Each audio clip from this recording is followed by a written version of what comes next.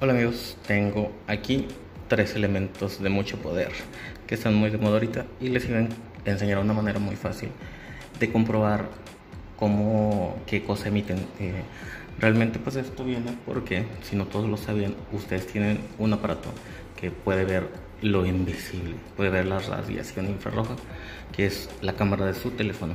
¿Cómo lo comprobamos? Tenemos un clima, un, un clima, un control del clima y vean esto. ¿Ven esa lucecita? Esa es la radiación infrarroja. Es la de un control de toda la vida. Este es un termómetro de los inalámbricos. Está encendido.